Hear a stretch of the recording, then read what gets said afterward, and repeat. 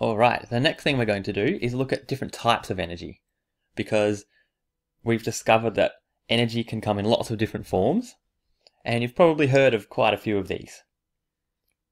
Let's start with the first one here, which is light energy. And light is, it's called radiation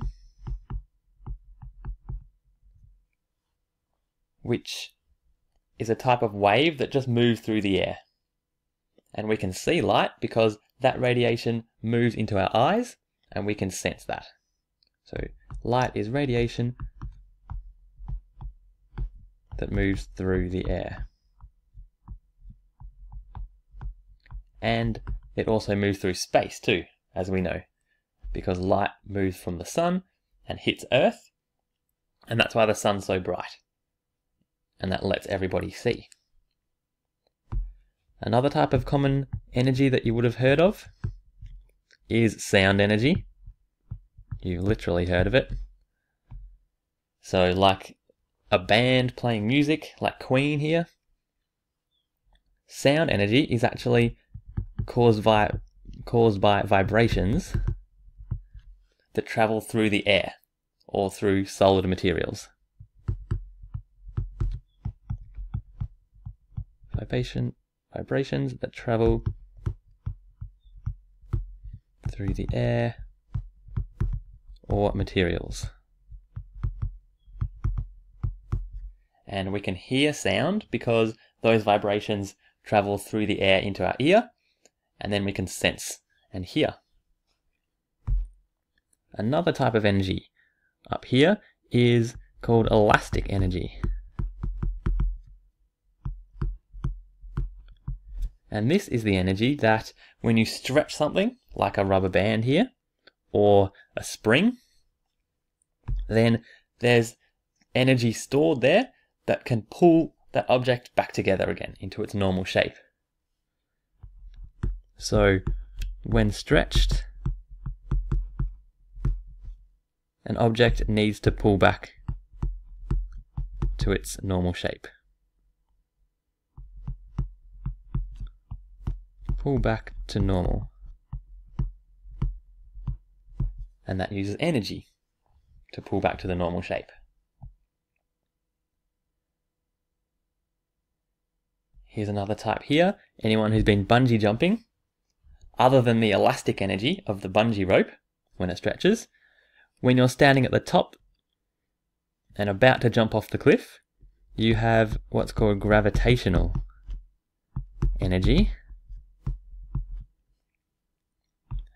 And that means that when you're standing there, you have the potential to fall down.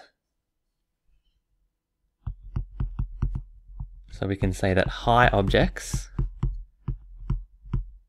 have the ability to fall. And when you're falling, that's using energy until you hit the ground or until you're stopped by a bungee rope, hopefully.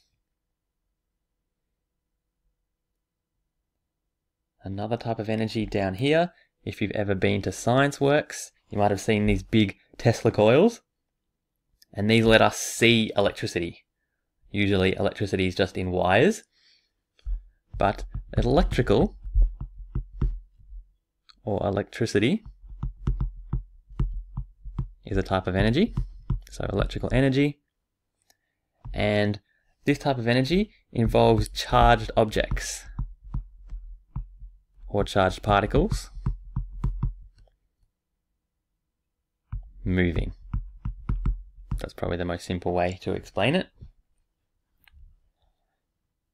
Another type of energy is a really common one. The proper, na proper name is thermal energy, but that's really just heat. So anything that's hot, it has thermal energy, which transfers to a colder object that's nearby. So thermal energy is energy that moves from a hot to a cold object.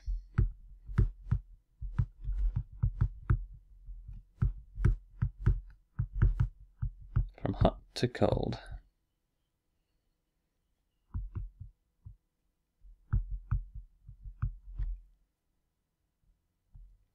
Okay, another type of energy here, which is what's found in fuels, like petrol, or in coal, is called chemical energy. And this means that the chemicals themselves have energy stored in there that we can use later. And that's what we do with fuels. We use them to power a vehicle or something similar to that. And foods actually have chemical energy stored in them. So chemical is energy stored in chemicals. The last one here, if you've ever seen a nuclear power plant before, this is one in France. We actually don't have any in Australia, but nuclear energy is the final, the final type of energy that we'll look at. And this is energy that's stored inside atoms, which are the smallest whole particles. So chemicals are made up of atoms, and inside those atoms, there's nuclear energy stored.